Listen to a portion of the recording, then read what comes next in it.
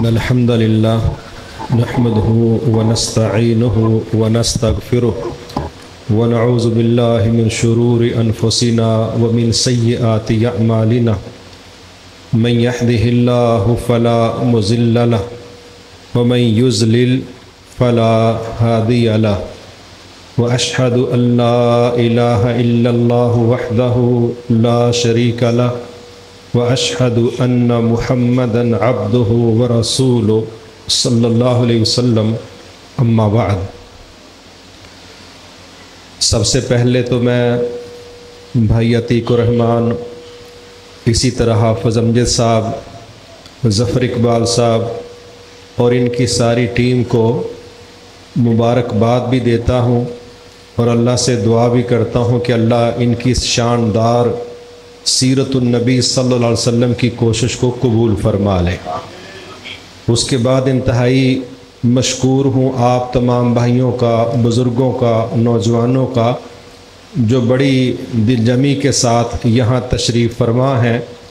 अल्लाह ताला आपका यहाँ बैठना और हम सब का सुनना सुनाना अपनी बारगाह में, अपने नबी की मोहब्बत में कबूल फरमाए। मेरे मोहतरम भाइयों इसमें कोई दूसरी राय नहीं है कि बतौर मुसलमान हमारा ईमान और अकीदा है कि अल्लाह के नबी से बढ़ के हमें कोई अज़ीज़ नहीं, हमें कोई महबूब नहीं। मगर मोहब्बतों का ये दावा अल्लाह के यहाँ इतबा माँगता है अतात माँगता है। अल्लाह ताला ने कुरान मजीद में जब अपनी ज़ात के साथ मोहब्बत की सनद मांगी, दलील मांगी तो वहाँ पर जो चीज़ चाही, वो अपने नबी की अतबा है। अल्लाह ने फरमाया, कुल इन कुन तुम तो हिब्बून अल्लाह फ़तबऊनी ए नबी सल्लल्लाहु अलैहि वसल्लम, आप अपने पैरोकारों को अल्लाह से मोहब्बत का तरीक़ा समझाएँ। इनको बतलाएँ कि अगर ये अल्लाह से मोहब्बत के दावेदार हैं तो फिर ये मेरी एतबा करें, यानी अल्लाह के नबी की।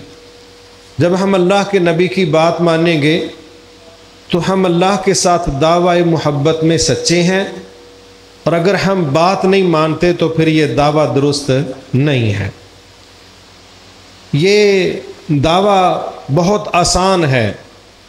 अशहद अल्लाह व अशहद अन्ना मुहम्मदन अब्दहु व रसूल अलैहि वसल्लम ये एक मिनट भी नहीं लगता और बंदा ये कलमा दोहरा देता है। लेकिन इस कलमे को पढ़ने के बाद ज़िंदगी के जिन मरहलों का आगाज़ होता है, वो हमारे तसव्वर में नहीं। मसलन, एक जगह अल्लाह रब्बुल इज़्ज़त ने फरमाया, अहसिबन नास अयुतरकू अयकूल आमन्ना वहम लायुफ्तानून क्या लोगों ने यह गुमान कर लिया है कि बस वो इतनी बात कह दे कि हम ईमान ले आए, अब उनको कोई चेक करने वाला नहीं, कोई उनको परखने वाला नहीं, पूछने वाला नहीं। अल्लाह कहते हैं, मेरी ये सुन्नत नहीं। जो जो ईमान का दावा करते हैं, मेरी सुन्नत है कि मैं उनको चेक करता हूँ। कितना करता हूँ? उन्हीं में से एक वाक़ मैं आपके सामने रखने लगा हूँ, इसलिए कि वतन अज़ीज़ के हालात नॉर्मल नहीं हैं। हर ज़िंदगी का शोबा मायूसियों के ढेर लिए हुए। और हमारे पास अल्लाह के नबी की सीरत के अलावा उम्मीद, हौसला, आसरा, आगे बढ़ना, इसका कोई वियन कोई बंदा नहीं दे सकता। एक ही हस्ती है रसूल अल्लाह सल्लम की। अगर हम उनको पढ़ेंगे, सुनेंगे, समझेंगे और उनके मुताबिक चलने की कोशिश करेंगे तो जो हालात वतन अज़ीज़ के मीशत में माशरत में, सियासत में और अदालत में जो जो हालात हैं, वो जो बंदा भी बात करता है ऐसे लगता है किसी गटर का ढक्कन ही उठा दिया स्मेल ही स्मेल है। मायूसी, तनकीद, शिकवा, परेशानी। हालात बड़े बंदे को परेशान करने वाले बने हैं। सिर्फ़ मसला महँगाई का नहीं है, मसला कुफार की गुलामियों का भी है, मसला अपने अंदरूनी खलफशार का भी है, मसला कुफार के दबाव के नतीजे में सरेंडर करने का भी है। मसला किबल अव्वल के हवाले से जो फ़लस्तीनी मुजाहिदीन ने स्टैंड लिया है, उनसे दूरियाँ अख्तियार करने वाला उम्मत का रवैया, उनकी हौसला अफजाई ना करने की सोच, उनके लिए अमलन कुछ ना करने का जहन और कुफार से डर डर के बात करना, ये सारे वो मौजूदा हालात हैं जो किसी भी संजीदा मुसलमान को परेशान कर देते हैं।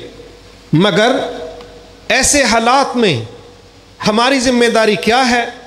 और नबी सल्लल्लाहु अलैहि वसल्लम ने कितने कितने कड़े हालात में अपने लोगों को गुजार के किस तरह कामयाबियों को हासिल किया? उन्हीं में से मैं एक वाक्य आपके सामने रखने लगा हूँ। हिजरत का पाँचवा साल है। नबी सल्लल्लाहु अलैहि वसल्लम मक्का से जब मदीना हिजरत करके आ गए तो जिस तरह भाई ने तस्करा किया कि आज भी यहूदी साजिशों से बाज नहीं आ रहे, उस वक्त भी बाज नहीं आ रहे थे। और इनकी कोशिश थी, बुत परस्तों की भी, यहूदियों की भी। मुसलमानों के अव्वल दर्जे के दुश्मन यहूद हैं। उनके साथ मुशरकिन ये बुत परस्त हैं। ईसाई कम्युनिटी तो तीसरी जगह पर आती वो तो अक्सर इस्तेमाल होने वाले हैं। अमरीका अक्सर इस्तेमाल होता है। इंग्लैंड इस्तेमाल हो जाता है, लेकिन मंजर क्या बना?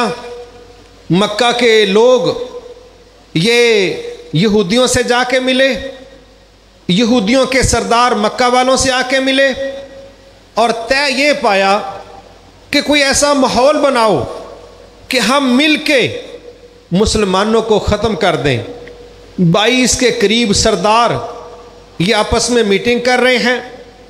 और फैसला क्या हो रहा है? कि इस्लाम की हकूमत, इस्लाम का मुस्तकबिल, रसूल अल्लाह वसल्लम की दावत, हम इसको किसी तरीके से दुनिया से डिलीट कर दे, ख़त्म कर दे? मैं ये समझता हूँ कि ये वो रवैया था जिसके लिए दो चार लोगों का इस्तेमाल नहीं हुआ। अहजाब हिज्ब की जमा है इतिहादी जिस तरह अफ़गानिस्तान में नेटो के इतिहादी आए थे। अकेले मुल्क की ज़रूरत नहीं है कि वो मुजाहिदीन से मुकाबला करे।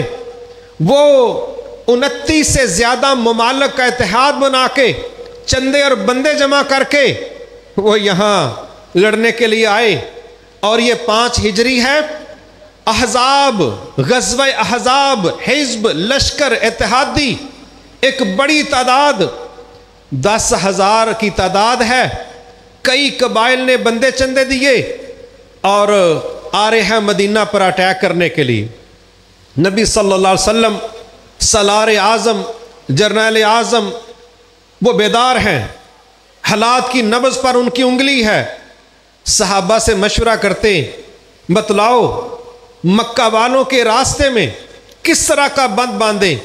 हज़रत सलमान फ़ारसी रज़ी अल्लाह तलान वो कहते हैं कि हमारे इलाके में एक तदबीर कभी कभी ये भी चलती कि जब डिफेंसिव जंग करनी हो, आगे बढ़ के अटैक नहीं करना डिफेंसिव नहीं है डिफेंसिव है तो फिर उसका तरीका है कि हम खंदक खोद लेते हैं। दुश्मन खंदक को क्रॉस नहीं कर पाता।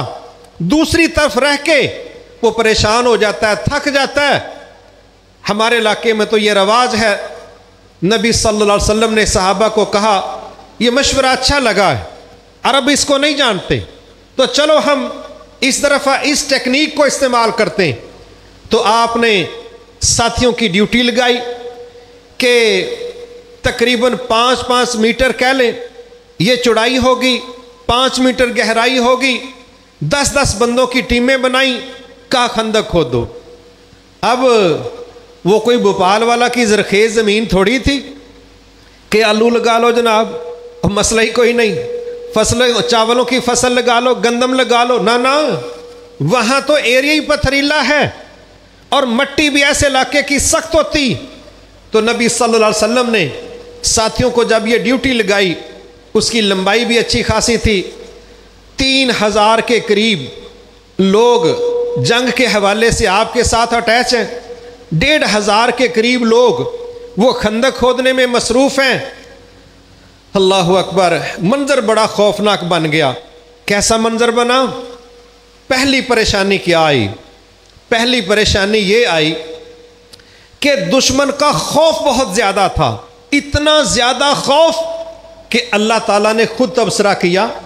अल्लाह ने फरमाया, याद करो वो वक्त जब तुम्हारे दिल तुम्हारी हलक को आ गए थे। और बंदा जब ये महसूस करे ना, हलक में कोई चीज़ फंस गई है हालाँकि सांस बंदे ने नाक से लेना होती है, लेकिन जब वो ये फील करे कि मेरी हलक में कुछ फंस गया तो वो समझता है सांस बंद हो रही है। अल्लाह ताला ने कुरान मजीद में फरमाया, याद करो वो वक्त जब ऊपर से और नीचे से लश्कर आ गए और तुम्हारे दिल तुम्हारी हलक में अटक गए। ये एहसास था, ये खौफनाकी थी।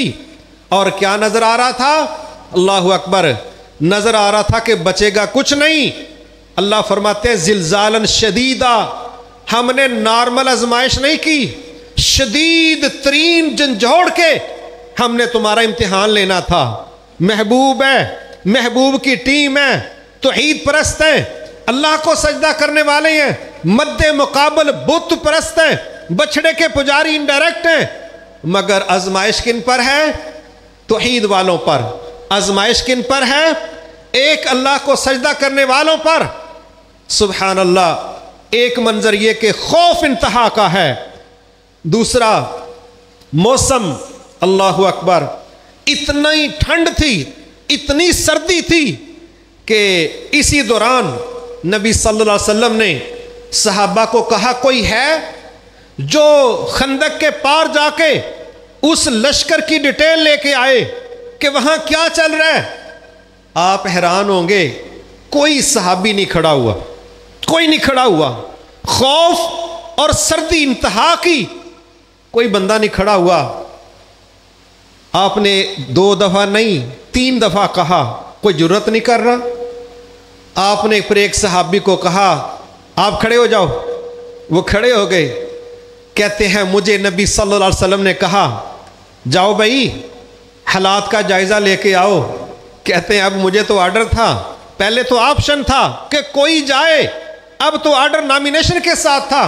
कहते हैं, मैं उठा और मैं अल्लाह के नबी की बात सुन के जब मैं दुश्मन की तरफ़ गया सुबहान अल्लाह कहते हैं वल्ला मुझे ऐसे लगा, शदीद सर्दी के अंदर मुझे ऐसे लगा, जिस तरह गर्म हवा की कोई चादर है, मैंने उसकी बुकल मार ली है। सारा जिसम मेरा गर्म हवा के कवर में है। मैं दुश्मनों के इलाके में गया। वहाँ एक मौका ऐसा भी आया एक मक्का का सरदार बिल्कुल मेरी तलवार के सामने था तो एक दफ़ा तो मेरा दिल किया कि मैं इसकी गर्दन उड़ा दूँ, सरदार मारा गया तो लोग बाकी भाग जाएँगे। लेकिन मुझे मेरे नबी ने नसीहत की थी, देखना, जंग के शोले ना भड़का देना। तो कहते हैं, मैंने सारी खबर ली, उधर उनकी इंटेलिजेंस भी बहुत तेज थी। वो क्या कह रहे हैं? कहते हैं, हमें खबर मिली है, कोई बंदा आ गया तो हर बंदा साथ वाले का हाथ पकड़ ले। और पता करे कि साथ वाला किधर से है? तो ये साहब भी कहता है, ये ऐसी इंटेलिजेंस थी, यकदम गले पड़ गई। तो कहते हैं, मैंने, जो बंदा मेरे करीब था, मैंने जल्दी से उसका हाथ पकड़ के बड़े प्रेशर के साथ कहा, तू कौन है? तो वो कहता, वो डर के मारे उसने अपना तो बता दिया, मुझे पूछा ही नहीं कि मैं कौन हूँ। कहते हैं बरलीन मंजर में मैंने उसकी ये चाल तो नाकाम की, लेकिन उनकी भी इंटेलिजेंस तेज थी। कहते हैं, मैं सारे हालात का जायजा लेके वापस आया जब तक मैं अल्लाह के नबी के पास पहुँच नहीं गया, उतनी देर तक ठंड खत्म थी और सर्दी के बजाय हीट का मैं एहसास हो रहा था और लग रहा था कि मैं तो किसी गर्म हमाम के अंदर हूँ। कहते हैं, जब मैंने सारी बात रसुल्ला वसल्लम को सुना दी तो आपने अपनी चादर दी मेरे ऊपर। मैं उस चादर में लेट गया, कहते हैं, मैं उसी में सो गया। बड़े मज़े की मैं नींद सोया, लेकिन सर्दी की शिद्दत भी बहुत ज़्यादा। और दिन कितने 25 से 30 दिनों का क्रैकडाउन। ये दो चार घंटों की बात नहीं थी। आए और लड़ाई हुई हिट एंड रन ना। 25 से 30 दिनों का क्रैकडाउन। और अगला मंजर क्या है? आज दुनिया मीशतों के रोने रोती है, लेकिन जुर्रत, हिम्मत, ताकत शुजात ये हमारे नबी सल्लल्लाहु अलैहि वसल्लम ने पेश किया कि हौसले टूटते होंगे दुनिया के, मगर हमारे नबी ने ज़रूरत के वो रिकॉर्ड कायम किए जो दुनिया किताबों में तो पढ़ती है, अपनाने की ज़रूरत नहीं करती। मीशत क्या है? साहबा आए अल्लाह के नबी सल्लल्लाहु अलैहि वसल्लम, ये देखिए, कमर सीधी रखने के लिए, बैलेंस कायम करने के लिए, हमने पेट पर पत्थर बांधा है। आपने कहा, तुम अकेले ने नहीं बांधा, मेरी तरफ़ देखो, मैंने भी बांधा है। कमांडर ने भी पेट पर पत्थर बांधा है, सिपाहियों ने भी पेट पर पत्थर बांधा है। मीशत की हालत यह है कि खाने के लिए चीज़ें नहीं, मौसम शदीद सर्द है, खंदक की खुदाई का काम चल रहा है, और इसी दौरान एक सहाबी बेचारा उसके घर था तो कुछ भी नहीं। दो ढाई किलो के करीब आटा है और एक छोटा सा बकरी का बच्चा है। वो क्या कह रहा है? वो अपनी बीवी से मशवरा करके कहता है, क्यों ना हम रसूल अल्लाह सल्लम और जो पाँच चार उनके करीबी साथी हैं, उनको दावत दे दें? कि किस कदर परेशान हालात हैं? आप दो चार बंदे आओ और खाना खा लो। वो आके चुपके से कहता है अल्लाह के नबी सल्लल्लाहु अलैहि वसल्लम, हमारे घर थोड़ा सा सामान है तो हम चाहते हैं कि आप दो चार लोग आए और खाना खा ले। आपने कहा, साहबा, ऐलान कर दो। जितने लोग खंदक की खुदाई में मसरूफ़ हैं, सारी लेबर का खाना जाबर के घर में अब वो कहते हैं, मैं घर आया मैंने अपनी बीवी से कहा कि ये तो काम लगता है, और ही हो गया। मैं तो दो चार लोगों की नीयत करके गया था। तो बीवी, बाज रवायतों में आता है, बीवी ने बहुत बड़ी बात की। कहने लगी, परेशान ना हो। जिन दो चार को आपने दावत दिया उनकी टेंशन आप लें। और जिन्होंने सारे खंदक खोदने वालों को दावत दिया वो जाने, उनकी टीम जाने। क्या हौसला था? क्या ईमान था? अल्लाह अकबर। अब आपने फरमाया कि जब तक मैं ना आ जाऊँ, चीज़ें पकानी भी नहीं, तकसीम भी नहीं करनी। आपने आके अपना हाथ मुबारक उन चीज़ों को लगाया, अल्लाह ने बरकत डाली, सारे खुदाई करने वालों ने पेट भर के खाना खाया, और मेज़बान कह रहा है कि समझ नहीं आ रही थी, खाना पहले ज़्यादा था कि अब ज़्यादा है। ये हालात है मीशत के। अब आगे आ जाइए। खंदक खोद रहे हैं, एक चट्टान आ गई। साहबा ने कहा, हमसे नहीं टूट रही। आपने कहा, मैं तोड़ता हूँ। इसमें कुछ चीज़ें हैं, मैं वो आपके सामने रखना चाहता हूँ। ये थोड़ा सा शॉर्ट मंजर इसलिए रख रहा हूँ कि आप खंदक में पहुँच जाएँ, फिर आपको ज़्यादा आसानी होगी बात समझने की। तो आपने वो गैंती कताल नाम पकड़ी, उस कदाल को आपने पत्थर पर मारा। जब पहली जरब मारी तो आपने क्या फरमाया? कहा, लोगो अल्लाह ने मुझे मुल्क के शाम की चाबियाँ दे दी। अच्छा जी। दूसरी कदाल मारी कहा यमन की चाबियाँ दे दी। तीसरी मारी कहा रूम फतेह हो गया।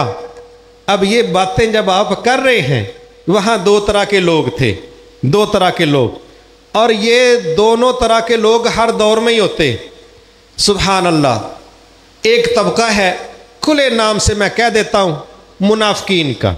अब वो भी मदीने में रह रहे। उन्होंने क्या तबसरा किया? कहने लगे, बड़ी गल है। बार पेशाब करन दी समझ नहीं आती कैसी रफा हजत किंज करना डरे कोई कतल ना हो जाए। इतने वही मुल्कों के मुल्क फतेह कर छड़े ने खंदक ची खलो के। ये तबसरा कौन कर रहा है? जिनके अंदर ईमान का बेड़ा गर्क हो चुका है। जिनके अंदर ईमान सेहत में नहीं असरी हालत में नहीं।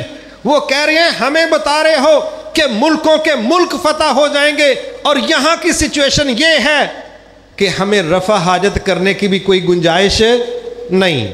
अब देखो इन्होंने जो जुमला कहा, बड़ा खौफनाक कहा। वो क्या था? वो भी अल्लाह ने कुरान मजीद में खुद ही बयान किया। कहा, जब ऊपर नीचे से लश्कर आ रहे थे तो हमने तुम्हें खूब आजमाया हत्या के तुम अल्लाह के मुतलक बुरे बुरे गुमान करने लग पड़े। और एक टीम ने क्या कह दिया? व मा वदन अल्लाह रसूल इल्ला गुरूरा। कहने लगे हो मुसलमानों, अपने ही थे, कलमा पढ़ने वाले हैं, साथ रहने वाले हैं, खंदक खोदने में शरीक हैं। हौसले क्या हैं? जुमले क्या हैं? कहते हैं, मा वादन अल्लाह रसूल इल्ला गुरूरा। अपने ही कहने लगे अल्लाह और उसके रसूल के वादे सवाए धोखे और फ्रॉड के कुछ भी नहीं। अल्लाह ने भी फ्रॉड किया, अल्लाह के रसूल ने भी फ्रॉड किया, दोनों ने हमें धोखा दिया। कहाँ है मदद? कहाँ है फरिश्ते? क्या होगा यहाँ पर? कलेजे हलक को आ रही हैं। सांस चलने का नाम नहीं लेती करेक्टन टूटने का नाम नहीं ले रहा। खाने के लिए कुछ नहीं है, मौसम नॉर्मल नहीं है। और हमें खुशखबरियाँ सुना रहे हो, रूम की और शाम की और यमन की। ये एक टीम है और दूसरी टीम वही मौजूद है। क्या कहती है? कहती है सदक अल्लाह रसूल ये तुम्हारा विजन है, तुम्हारी असेसमेंट है कि अल्लाह और उसके रसूल ने धोखा दिया। हम गवाह हैं अल्लाह भी सच्चा है, उसका रसूल भी सच्चा है। जो वादे अल्लाह और उसके रसूल ने हमसे किए थे, वो वादे सच्चे हैं। अल्लाह भी सच्चा, उसका नबी भी सच्चा। हमारे साथ कोई धोखा नहीं हुआ। ये सब कुछ हमें पहले बता दिया गया था। ये भी वहाँ एक टीम मौजूद है। अब आपने एक चीज़ को समझना है। 25 दिन का क्रैकडाउन, पेट पर पत्थर बांधने वाली मीशत शदीद सर्दी का टेम्परेचर मौसम दस हज़ार बम काबला तीन हज़ार। और इफेंसिव नहीं डिफेंसिव दुश्मन केरा करके खड़ा है। और अगली खौफनाक सब खबर क्या मिली? अल्लाह अकबर। किसी ने आके कहा अल्लाह के नबी सल्लल्लाहु अलैहि वसल्लम, ये बनु करैजा, ये यहूदी, इन्होंने जो मुहदा किया था हमारे साथ कि अगर कोई बाहर से आके मक्का, मदीना पर अटैक करेगा तो हम मिल के दिफा करेंगे। इन्होंने मुआहदा तोड़ दिया है। आपने कहा अच्छा आपने कहा, जाओ, उनके महल्ले में चेक करके आओ। ये जंगी टर्म्स थी। आपने जाने वाले को कहा, अगर उन्होंने मुआहदा तोड़ दिया, ये इस्लामिक मीडिया पॉलिसी है। हमारे यहाँ तो अल्लाह रहम फरमाए, बाज मीडिया वालों ने मुँह से कतूरे बांधे हुए हैं। पता ही नहीं, क्या खबर देनी है, क्या नहीं देनी। जिम्मेदारों को पता कोई नहीं, और आवाम के अंदर वो सेंस नहीं फैलाई है। आम बंदा बेचारा, उसकी जान निकल जाती है खबर सुन के, और ब्रेकिंग न्यूज़ के नाम पर ऐसा तेज म्यूज़िक जो बंदा बीपी का मरीज़ है, वो खबर ही नहीं सुन सकता। वो कहता हो, पता नहीं केड़ा लेंटर डिग गया, खोरे की हो गया हर खबर, ये जी ब्रेकिंग न्यूज़ आ रही है, पता नहीं इनकी मामूली खबरें भी ब्रेकिंग न्यूज़ हैं। और अल्लाह के नबी मीडिया को क्या पॉलिसी दे रहे हैं? सहाबी को कह रहे हैं, अगर यहूदियों ने मुआहदा तोड़ दिया तो मुझ अकेले को बताना है। पब्लिक में पेश नहीं करना, पब्लिक में नहीं लेके जाना, मुझे बताना। मैं जिम्मेदार हूँ। फैसला मैंने करना है, प्लान मैंने करना है। ज़िम्मेदारी मेरी है, हम सेटल करेंगे। अगर मुहदा उन्होंने तोड़ दिया तो मुझे बताना। अगर मुहदा ना तोड़ा, ये प्रोपेगंडा हुआ आप कह रहे हैं, फिर इसको सरेआम लोगों में बयान करना, फिर इसको पब्लिक करना, फिर इसको वायरल करना, फिर इसको दुनिया में पेश कर देना। वो सहाबी जब यहूदियों के महल्ले में गए, आगे से यहूदियों ने बदतमीज़ी शुरू कर दी। इससे पहले इसकी तो नहीं थी। कन्फर्म हो गया कि यहूदियों ने मुआहदा तोड़ दिया। सुबहान अल्लाह वो वापस आए, बड़े समझदार। उन्होंने भी कोड वर्ड में आपको खबर दी। ताकि कोई और भी सुन ले तो वो भी एसेस ना कर सके कि क्या बात हुई है। ये जंगों में कोड वर्ड्स ये इस्तेमाल करने पड़ते हैं। अल्लाह के नबी को उन्होंने आके क्या कहा? एक रवायत में आता है, उन्होंने कहा, बैर माऊना, ये कोड था कि जिस तरह बैर माऊना पर हमारे सत्तर कारियों के साथ बदहदी करके उनको शहीद कर दिया गया था, यहूदियों ने भी बदहदी कर दी। मेरे मोहतरम भाइयों, आप जो मैं बात रखने लगा हूँ, ज़रा उसको समझो। दुनिया में अल्लाह के नबी से ज़्यादा मज़बूत असाब का मालिक कोई बंदा है ही नहीं। बाज़ रवायतों में आता है कि चालीस मर्दों के बराबर एक नबी में ताकत होती, चालीस मर्दों के बराबर। मगर ये जो अंदर और बाहर के ज़ख्म है ना, ये बड़े बड़े मज़बूत बंदे को गिरा देते। आप जब इसकी डिटेल पढ़ेंगे, ज़िंदगी में पहली और आखिरी मरतबा इस दुनिया की सबसे पावरफुल ज़ात, मज़बूत तरीन असाब की मालक हस्ती, जिसने यतीमी के सफ़र से लेके यहाँ तक सफ़र किया था, कभी इस कदर परेशान नहीं हुए थे। आप बकायदा मुँह पर कपड़ा लेके ज़मीन पर लेट ही गए। ज़मीन पर लेट गए और साहबा परेशान हो गए कि रसूल अल्लाह सल्लम ज़िंदगी में पहली दफ़ा ये कंडीशन अल्लाह अकबर, इस तरह का मंजर अल्लाह के नबी के साथियों ने पहले कभी नहीं देखा कि हमारे नबी वो ज़मीन पर अमलन लेट गए और चेहरे पर कपड़ा लेके गम का क्या लेवल है, जिसको अल्लाह कह रहा है कि हमने जिलजालन शदीदा, हमने ज़बरदस्त जलजला अंदाज में तुम्हें झंझोड़ के आजमाया। अंदाज़ा करें जिसको रब शिद्दत के साथ पुकारेगा, वो क्या लेवल होगा? फिर अल्लाह के नबी की एक हदीस है। आपसे किसी ने पूछा, सबसे ज़्यादा कौन आजमाए गए? आपने फरमाया, अंबिया। कहा उनके बाद? कहा, जिस तरह किसी का ईमान है, उसके मुताबिक अल्लाह लोगों को आजमाता है। एक मरहला क्या आया इस जंग में। रसूल अल्लाह सल्लम ने चंद सहाबा को कहा, यार बात सुनो, मदीना पर जो अटैक करने वाले हैं, इनमें से एक फ़लाँ फ़लाँ कबीले के भी तीन हज़ार लोग आए हैं। तो मदीना की जो कुल पैदावार है खजूरों की, उसका तीसरा हिस्सा उनको अदा करने के नाम पर अगर हम कोई डील कर ले, कोई कमिटमेंट कर ले कि यार हम तुम्हें मदीने की कुल पैदावार का तीसरा हिस्सा अदा कर दिया करेंगे, लेकिन लश्कर से बाहर हो जाओ, निकल जाओ ताकि इनका, इनकी कुवत कम हो। तो वहाँ सात बिन माज और एक और सहाबी हैं, ये अंसार के सरदार थे कहने लगे अल्लाह के नबी सल्लल्लाहु अलैहि वसल्लम ਅਸੀਂ ਤੇ ਇਹਨਾਂ ਕੇ ਉਦੋਂ ਨਹੀਂ ਕਦੀ ਲੰਮਿਆਂ ਪਏ ਜਦੋਂ ਕੁਫਰ ਤੇ ਸਾਂ ਹੁਣ ਤੇ ਅੱਲਾ ਨੇ ਇਸਲਾਮ ਦੀ ਤਾਕਤ ਦਿੱਤੀ ਹੈ ਇਹ ਨਹੀਂ ਹੋ ਸਕਦਾ ਕਿ ਅਸੀਂ ਇਹਨਾਂ ਨੂੰ ਹੁਣ ਜਿਜ਼ੀਏ ਦੀ ਸ਼ਕਲ 'ਚ ਅਸੀਂ ਇਹਨਾਂ ਨੂੰ ਜਾ ਜਾ ਕੇ ਤੇ ਆਪਣੀ ਖਜੂਰਾਂ ਦਈਏ ਇਹ ਨਹੀਂ ਹੋ ਸਕਦਾ आपने कहा चलें ठीक है फिर मकसद क्या था कि डटे रहो अब ये दो मंजर आप देखें तो मेरी तरफ़ करें कि रसूल अल्लाह वसम कहाँ तक सोच रहे हैं कि कुछ खजूरों का हिस्सा दे के इनको यहाँ से निकलता करें। और साथ क्या? कि आप ज़मीन पर लेट गए। मगर यह था जंग का आखिरी खौफनाक मंजर, जो आसाब शिकन था। आप फिर ज़मीन से जब उठे, आपने कहा, अल्लाह अकबर, अल्लाह की मदद आ गई। फिर आपने फरमाया नकजू वला यकजूना साहबा, वो दौर गुजर गया, माजी था, ख़त्म हो गया। आज के बाद ये हम पर चढ़ाई नहीं करेंगे, हम इन पर चढ़ाई करेंगे। ये वो मरहला था, जब अल्लाह के नबी खड़े हुए, उधर से फिर जब्राईसलाम अपनी टीम के साथ आए।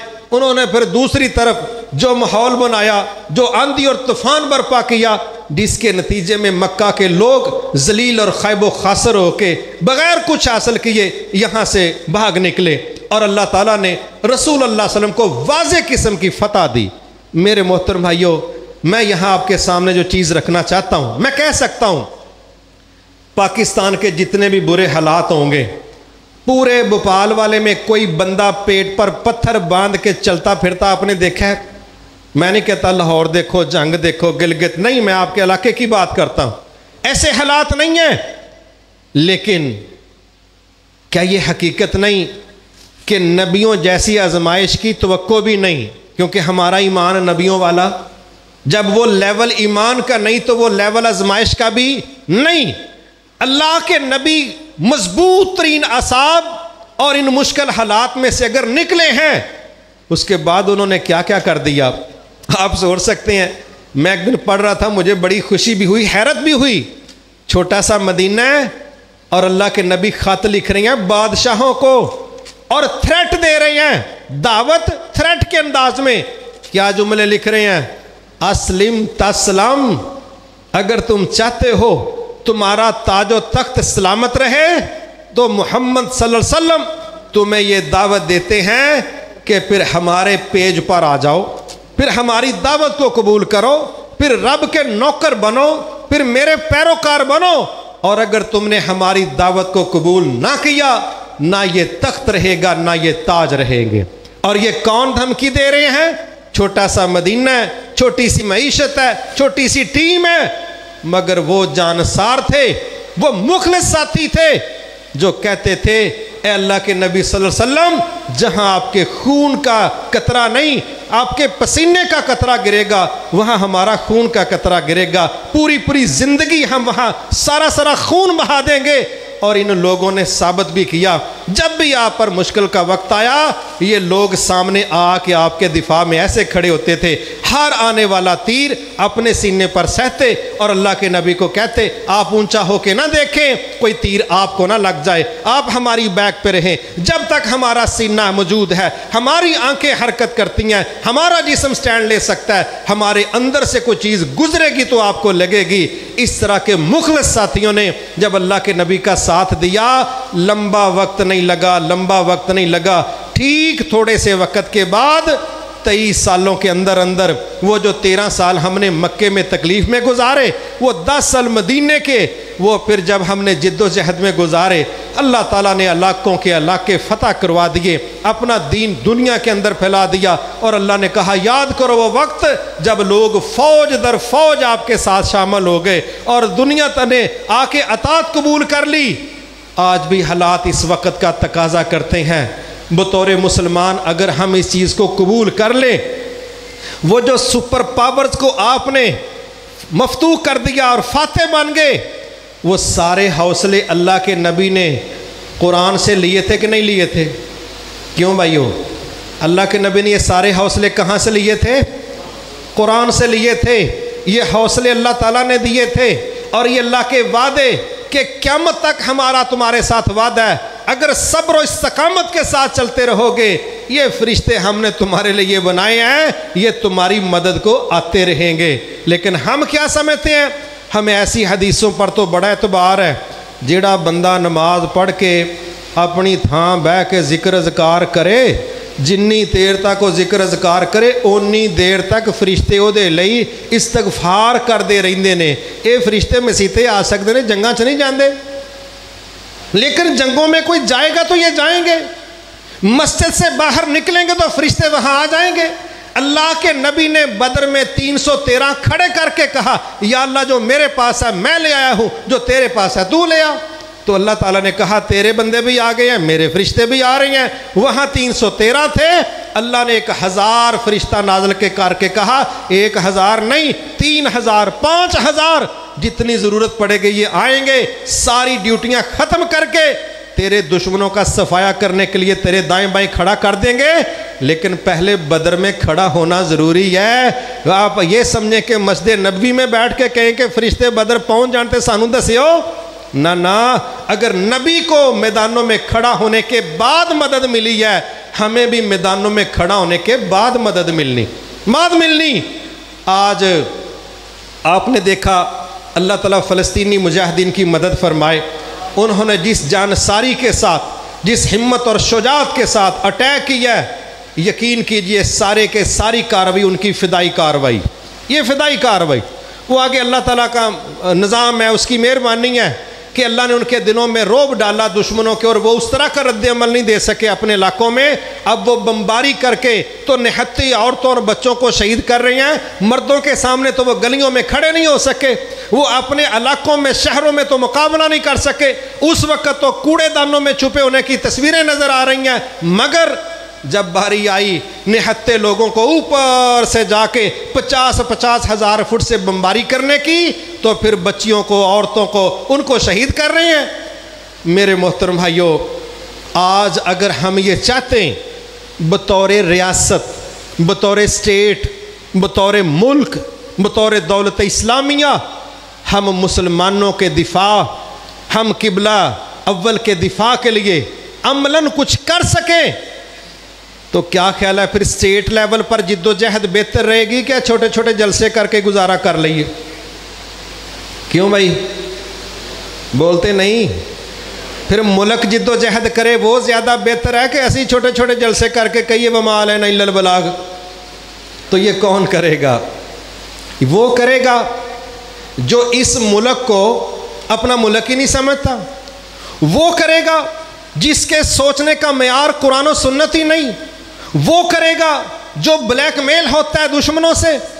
वो करेगा जो उनको खुदा समझता है रिजक के सिलसिले में। वो करेगा जो आईएमएफ के सामने सजदा रेज होता है।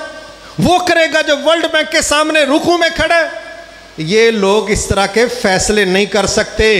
इस तरह की जरूरतें तब होती हैं जब बंदा किरदार का साफ़ हो, माजी का साफ़ हो और आखरत को तरजीह देने वाला हो। और इकतदार को सानी हैसियत देने वाला हो, और जिसने इकतदार को सानवी हैसियत नहीं देनी, उसने कहना कुछ बचे, ना बचे, बस इकतदार मिलना चाहिए। ऐसे लोग फिर इकतदार लेने के लिए अपनी कौमों का इकतदार गोला, दूसरों को दे देते। आज अल्लाह ताला रहम फरमाए, ये थोड़े वक्त पहले कितने मुश्किल हालात चल रहे हैं अब भी। बिजली के बिलों का मसला, महँगाई का मसला, किसको नहीं पता कौन क्या क्या कर चुका है क्या क्या हो रहा है। पाकिस्तानी वाम ने एक मिन्नत की। ऐसा हो सकता है कि आप हमारे ऊपर 48 फ़ीसद जो टैक्सेस लगाए हैं 48 फ़ीसद टैक्स, वो टैक्स कम कर दो, बोझ ख़त्म कर दो, आप फ़ी यूनिट रेट कम कर दो। क्या जवाब आया? जवाब आया, पुछ के दसने किनू पूछना जे? आईएमएफ को। आईएमएफ के सामने हाथ बाँध के खड़े हैं। ਉਹ ਬੱਚੇ ਥੋੜੇ ਜਿਹਾ ਰੌਲਾ ਰੂਲਾ ਪਾਣਡੇ ਨੇ, ਚੀਕਾਂ ਚੁਕਾਂ ਮਾਰਦੇ ਪਏ ਨੇ ਪਾਕਿਸਤਾਨੀ ਕੀੜੇ ਮਕੌੜੇ। ਤੇ ਉਹ ਆਂਦੇ ਨੇ, ਕੋਈ ਗੱਲ ਕਰੋ ਕੋ ਪੈਸੇ ਥੋੜੇ ਜਿਹਾ ਘਟ ਜਾਣ।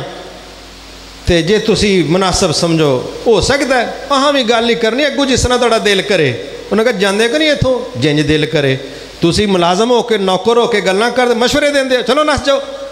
ਸਾਡੇ ਵੱਲੋਂ ਥੋੜੇ ਜ਼ਲੀਲ ਹੋਣ ਦੀ ਬਜਾਏ ਬਹੁਤੇ ਹੋਵੋ ਪਰਸੋਂ ਮਰਨ ਦੀ ਬਜਾਏ ਅੱਜ ਮਰੋ, ਸਾਡੀ ਸਾਕਾਦਾਰੀ ਤੁਹਾਡੇ ਨਾਲ।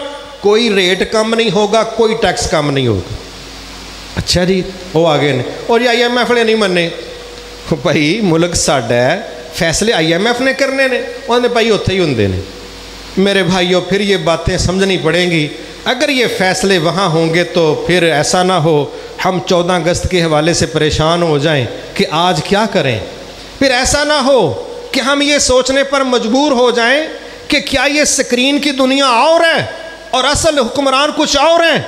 नहीं इन बतौर पाकिस्तान मरकज़ी मुस्लिम लीग, हम पाकिस्तान का आईडी कार्ड रखते हैं और पाकिस्तान के अंदर एक ऐसी कुवत तैयार कर रहे हैं जो बड़े थोड़े वक्त में आके पाकिस्तान के अंदर एक ऐसा फैसला दुनिया के सामने रखने जा रही है, जिसके बाद इन ये फ़ैसले अल्लाह इधर करवाएगा, ये फ़ैसले बाहर नहीं होंगे। वो क्या है?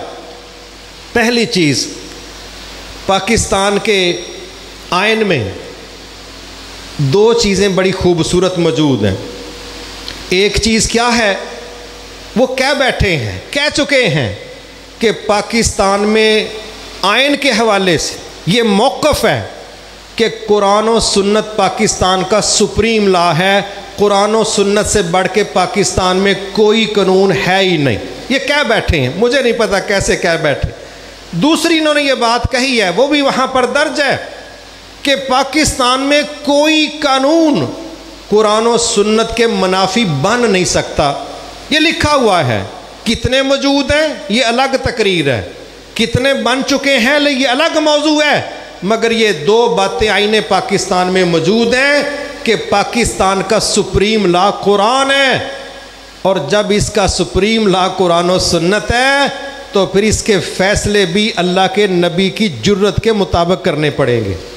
और जब इसका आयन कुरान और सुन्नत नहीं होगा तो फिर नबी ज़रूरत का तस्वर फिर वो वो बनती नहीं है, क्योंकि हम उस पेज पर नहीं। सुबहान अल्लाह पाकिस्तान में अट्ठानवे फ़ीसद मुसलमान हैं। मैं आपसे एक सवाल करता हूँ। हमारी जद्दोजहद हमारी जद्दोजहद किसी एन आर ओ के लिए नहीं। हमारी जिद्दोजहद जमात पर, जमात के अफराद पर केसों को ख़त्म करवाने के लिए नहीं।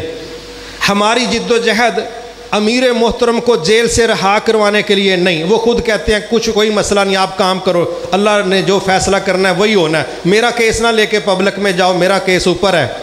मुझे बताएँ कि जब हमारी ये ज़रूरत नहीं एन आर ओ हमारा मसला नहीं, जमात के साथियों पर केस हमारा केस नहीं, और अमीर मोहतरम की रिहाई हमारा फड्डा नहीं तो फिर हमारी जिद्दोजहद इस्लाम और पाकिस्तान के लिए बनती है कि नहीं बनती? क्या कोई कह सकता है वो इन्हों का ढाई सौ बंदा अंदर इन्हों की सलाह को डील शील करते बंदे बाहर कढ़ाण होर इन्हों कोई रौला नहीं। अल्लाह का शुक्र है हमारे ऐसे रौले है ही नहीं। तो मेरे मोहतरम भाइयों, अगर मैं ये कहूँ मेरे अमीर ने यह बात की है कि हम ये चाहते हैं कि पाकिस्तान के अंदर इस गुंजाइश का फ़ायदा उठाएँ और अट्ठानवे फ़ीसद मुसलमानों को इस बात पर खड़ा करें। आओ इंसानों के बनाए आइन से आगे बढ़ के हम खाल के कायनात का कानून इस मुल्क की जीनत बनाएँ।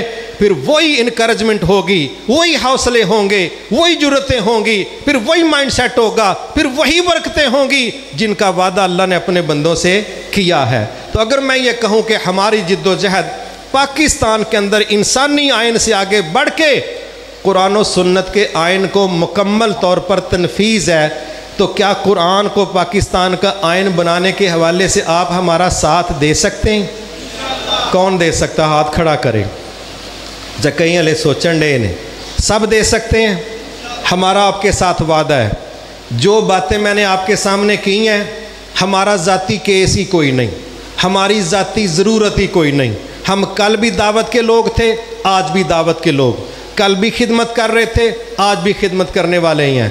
अगर अल्लाह बड़ा मौका देगा, बड़ी करेंगे, नहीं होगा तो कर रहे हैं। असी वेले लोग कोई नहीं। हम काम कर रहे हैं, दावत का भी, खिदमत का भी, और अपने मजलूम कश्मीरियों की मदद का भी, और उम्मत का दर्द अल्लाह ने हमारे सीने में रखा है। और इन हमारी ये ख्वाहिश और कोशिश होगी कि जिस तरह साढ़े आठ हज़ार शहादतें पेश करके ये अमल से साबित किया है, हम बातों से आगे जाने वाले लोग हैं। इन अगर अल्लाह ने पाकिस्तान में मौका दिया अपनी खिदमत को, कुरान सुन्नत को, हम दुनिया के सामने इस अंदाज से पेश कर सकते हैं। कि दुनिया के अंदर हर कौम को अपनी मर्ज़ी से जीने का हक है तो हम अल्लाह के ग़ुलाम हैं। हमें पाकिस्तान के अंदर अल्लाह की ग़ुलामी में जीने का पूरा हक है। हक है कि नहीं है?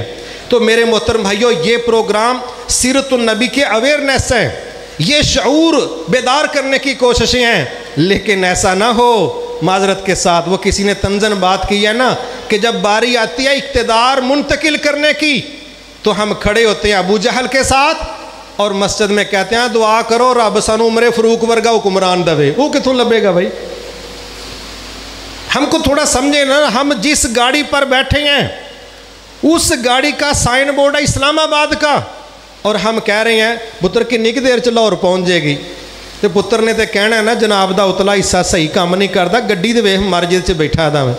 मंजिल कोई है, पुछना कोई पिया बैठा किसी चीज़ से तो अगर हम लोग इकतदार मुंतकिल करते वक्त इस चीज़ का लिहाज नहीं रखेंगे तो उसके बाद सिर्फ़ दुआओं से सारे मसले हल नहीं होने।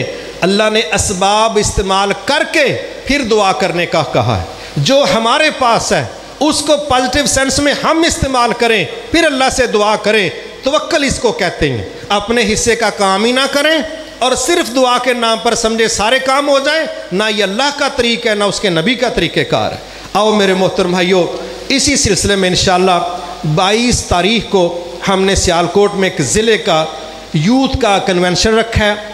मैं उम्मीद करता हूँ कि इसमें मेरे वो तमाम भाई जो नौजवान हैं इन वो ज़रूर इसमें भरपूर तरीके से तशरीफ़ लाएँगे। मुझे बहुत खुशी हो रही है, माशाल्लाह, आपने जितना शानदार, खूबसूरत मेहनत करके अतीक भाई और सारे साथियों ने ये प्रोग्राम सजाया। अल्लाह ताला आपकी मेहनतों को कबूल फरमाए।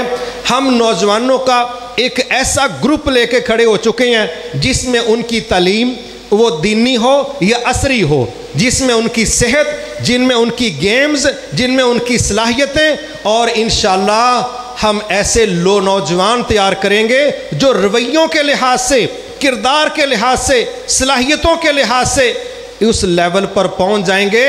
वो आने वाले वक्तों में इस मुआरे को लीड करेंगे, लीड। असी डब्बे तैयार नहीं करांगे इन इंजन तैयार करांगे। लेकिन हमारे पास रोड मैप वही है जो रसूल अल्लाह ने फरमाया था इन अल्लाह यरफ़ बिहाज अल किताब अकवामन व यज़ यज़ी आखरीन। अल्लाह के नबी ने फरमाया था, कुरान वो निसाब है, जो इसके मुताबिक चलेगा, अल्लाह उसको तरक्की देगा, और जो इसके मुखालफ चलेगा, वो जवाल पजीर हो जाएगा। हमारे पास तो यही सिलेबस है, ना कोई पर्सनल लिखी किताब है, ना कोई अलग से किताबचा है इन अपने नबी के वादों पर पूरा यकीन है कि जो अल्लाह और उसके रसूल ने फरमाया, वही सच है और उसका तरीक़ेकार यही है। हम अपनी यूथ को सलाहियतें भी देंगे इंटरटेनमेंट जो जायज़ है वो भी देंगे, मज़बूत जहनी तौर पर, जिसमानी तौर पर बनाएँगे, नज़रियाती तौर पर खैर पर खड़ा करेंगे और लीडरशिप का वो असूल इनको समझा देंगे और सिखा देंगे कि ये आने वाले वक्तों में मुल्क के लिए कुर्बान होंगे, ये मुल्क के दुश्मनों के लिए इस्तेमाल नहीं होंगे। आज जब हम इस पर नहीं रहे तो बात ही कोई नहीं। माशाल्लाह बड़े बड़े लोग खड़े होकर कह रहे होते हैं, एम एन ए किन्ने का लभ जाता है? भी तो पंजी करोड़ का एम एन ए लभ जाता चंगा कद्दू खरीदण निकलिया असी भाई, बंदा एम एन ए वे लखा वोट लैके मुंतखब हो। दिया भी तो पंजी करोड़ का एम एन ए लभ जाता है। जे इतने पंजी करोड़ का लभ जाता बाहरले चाली देने तैयार ने। और इतों वाले विकण तैयार ने वह खरीदण तैयार ने। जब इंसान बिकना शुरू हो जाए, फिर वो मुल्कों का दिफा, वो इज़्ज़तों का दिफा मीशत का दिफा, नज़रियात का दिफा, कौमों के मुस्तबिल का दिफा, फिर वो नहीं करते। वो आंदे ने, मेरा लगा दस करोड़ है, शुक्र है, मैं तरीक कमा लिया खाई खसमा का सिर, कौम मेरी मामे की धी लगती है। मैनू की लौड़ है? ये हुआ है पचहत्तर साल हमारे साथ। मैं उम्मीद करता हूँ कि आप इन पाकिस्तान मरकज़ी मुस्लिम लीग के साथ खड़े हों। हमारी दावत कुरान सुन्नत की है, फ़िरका वारियत की नहीं। हमारी खिदमत इंसानियत की है, ग्रुपों, जमातों की नहीं। और इन इन हमारी मदद उम्मत मुसलमा के लिए है। और अल्लाह ताला ने चाहा तो अगर अल्लाह ने मौका दिया तो हम अमल के साथ ये चीज़ पेश करेंगे। वो जो बातें मखदूम और ख़ादम वाली हम सुनते हैं, कि सियासतदान अपने नाम के साथ खुद लिखता है। एह मखदूम फलां सुबहान अल्लाह मुँह आंद है, एह भाई मेरी खिदमत करो। भी तू दूजे समान तो उतरिया तेरी खिदमत करिए। ਇਹ मैं फलाणिया दा मुंडा वा। तो वह ही मुंडा है ना, साढ़े सिर का आसान है। मखदूम लिख के कहते हैं, हमारी खिदमत करो।